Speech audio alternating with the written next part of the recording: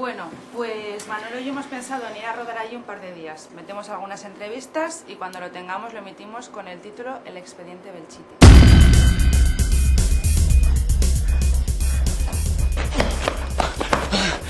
¿Pero por qué no bajabais? Julia, ahí dentro ocurre algo, hay algo.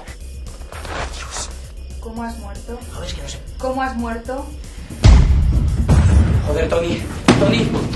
Tony, ¿qué es.